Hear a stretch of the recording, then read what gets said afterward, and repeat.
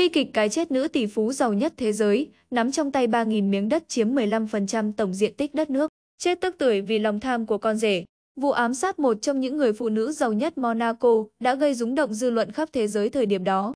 Ngày 6 tháng 5 năm 2014, khi nữ tỷ phú Herlin Pater, 77 tuổi vừa rời khỏi bệnh viện công L Akit, thành phố Nai, Pháp thì bất ngờ bị phục kích và sát hại trong một loạt súng vang trời. Bà Herlin chỉ vừa mới ở trong bệnh viện để thăm con trai bị đột quỵ, trở ra đã thành mục tiêu ám sát. Đây trở thành vụ án nghiêm trọng tốn nhiều công sức điều tra của cảnh sát.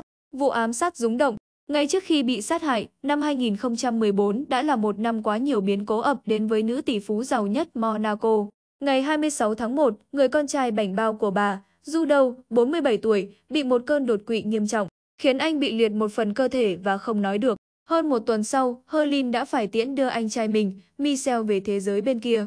Hai bi kịch, cùng với việc cô con gái duy nhất được chẩn đoán mắc bệnh ung thư vú vài năm trước đó, đã khiến Herlin, được mệnh danh là công chúa của Monaco, vô cùng đau khổ. Đôi khi, tôi tự hỏi liệu ông trời có mắt không vậy, bà than thở với một người bạn. Tuy nhiên, vào ngày bị ám sát, Herlin có lý do để lạc quan. Con trai bà, dù đâu, sẽ được xuất viện về nhà trong vài ngày nữa. Vì vậy, hàng ngày, bà dành khoảng 45 phút mỗi chiều, di chuyển qua lại giữa Monaco và bệnh viện ở Nai. Khoảng 7 giờ tối, bà hôn tạm biệt con trai và bước ra khỏi bệnh viện đến chiếc xe lan chơ voi Izer màu đen. Bác tài xế lâu năm Mohamed Dawik, 64 tuổi, đang đợi để chở bà về nhà. Con đường phía trước bệnh viện đông đúc xe cộ và người đi bộ. Từ quán ăn nhanh đối diện bệnh viện, một thanh niên ra hiệu khi chiếc xe màu đen chở Hơ Linh lăn bánh ra đường và rẽ phải. Ngay lúc đó, một thanh niên thứ hai bước ra từ trong bóng tối với một khẩu súng săn đã cưa nòng, loại mà các thợ săn châu Âu dùng để bắn lợn rừng trong các khu rừng Perjuvernacle. Ở cự ly cực gần, người đàn ông nhắm khẩu súng ngắn vào cửa sổ xe và bắn hai phát, kính vỡ vụn. Herlin dính một phát đạn ở ngực. Tài xế Mohamed Dawik tử vong sau 5 ngày ở viện, còn bà Herlin 15 ngày sau cũng không qua khỏi. Bà qua đời vào ngày 21 tháng 5. Tang lễ của bà được tổ chức một cách kín đáo, có sự tham dự của hoàng tử Monaco Albert và vợ. Các phương tiện truyền thông không được phép có mặt tại đám tang, máy bay trực thăng gầm rú liên tục trên bầu trời để đảm bảo không ai chụp ảnh. Xếp trong danh sách những phụ nữ giàu có nhất thế giới, nhưng nữ tỷ phú sống rất kín tiếng ở Monaco. Hầu như không bao giờ tham dự sự kiện xã hội nào. Trước khi chết, bà nói với cảnh sát rằng không nhận được bất kỳ mối đe dọa đến tính mạng và thậm chí không có bất kỳ kẻ thù. Vụ việc khiến cả đất nước Monaco rúng động. Các tờ báo ở Pháp và Anh đưa tin rằng vụ ám sát kiểu băng đảng này có thể là tác phẩm của những kẻ giết người chuyên nghiệp từ mafia Ý hoặc Nga.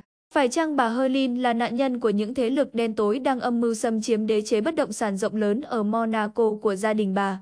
Khối tài sản cách xù Herlin Pater được biết đến là người phụ nữ giàu nhất Monaco và cũng từng nằm trong danh sách những người phụ nữ giàu nhất thế giới.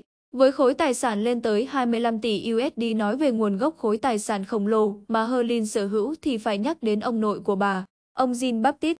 Vào những năm 1880, ông nội của Herlin là một thợ đá nghèo. Ông mang đôi bàn tay trắng từ Italy đến Monaco. Thế rồi, nhờ tài năng hơn người, một công trình bằng đá của ông được hoàng tử Monaco khi đó là Louis II đánh giá cao. Khi đã có danh tiếng, ông Jean Baptiste bỏ tiền mua đất để xây dựng các tòa nhà chung cư sang trọng và các công trình quan trọng cho hoàng tộc. Gia tộc Pasteur cũng như vịt hóa thiên Nga, trở thành bạn bè giao hữu với hoàng tộc Monaco. Đó là một niềm vinh hạnh không phải ai cũng có được. Năm 1990, ông Jean Baptiste qua đời để lại gia tài là số lượng lớn bất động sản cho ba người con, trong đó có bà Herlin.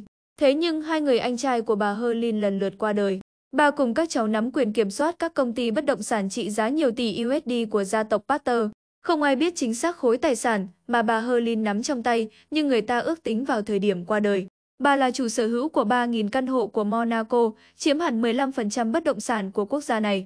Trong khi giá trị bất động sản của Monaco khi đó thuộc hàng cao nhất thế giới, khoảng 120.000 USD trên mét vuông. Herlin Pasteur gần như là một nữ hoàng trị vì không chính thức của công quốc này. Herlin kết hôn hai lần và có hai con, Sylvia, khi đó 54 tuổi và Judo, 47 tuổi. Cả hai đều nhận được khoản trợ cấp hàng tháng từ mẹ khoảng 700.000 USD, nhưng Sylvia thường phàn nàn với bạn bè rằng mẹ yêu em trai hơn và cho em trai nhiều tiền hơn. Người con rể với lòng tham vô đáy. Không lâu sau khi bà Herlin qua đời, cảnh sát Pháp đã tìm ra dấu vết hai kẻ tình nghi là Samini A, 24 tuổi và Anne 31 tuổi. Kết quả điều tra cho thấy, ngày 6 tháng 5 hai tên này đi tàu hỏa từ Marseille đến Nice và vào ở một khách sạn gần ga. Sau đó, chúng tách ra đi trên hai xe taxi đến bệnh viện, nơi bà Herlin vừa thăm con trai. Cảnh sát cũng đã tìm ra khách sạn nơi chúng ở và tìm được át của một trong hai kẻ ở phòng tắm.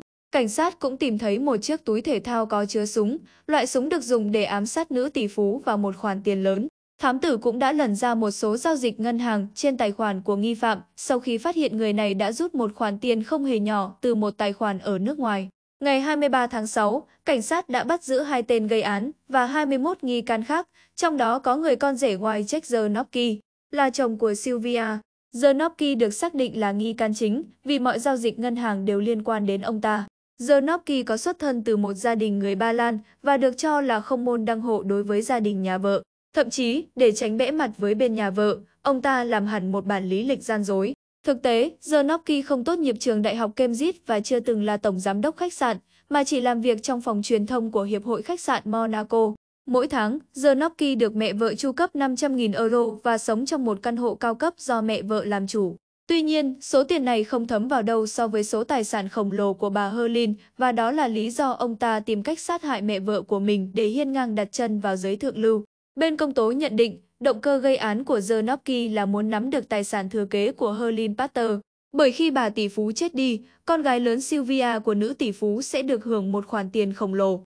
Sau khi bị cảnh sát bắt giữ, Zernopki cũng đã nhanh chóng khai nhận đã đưa cho tay huấn luyện viên thể hình của ông ta 200.000 euro để tìm người giết mẹ vợ. Gã này khai đã dùng 60.000 euro thuê hai tên sát thủ loại rẻ tiền và hai tên này đã gây án một cách thiếu chuyên nghiệp nên cả bọn nhanh chóng bị bắt giữ. Nguồn. Vanity Fair, The Guardian.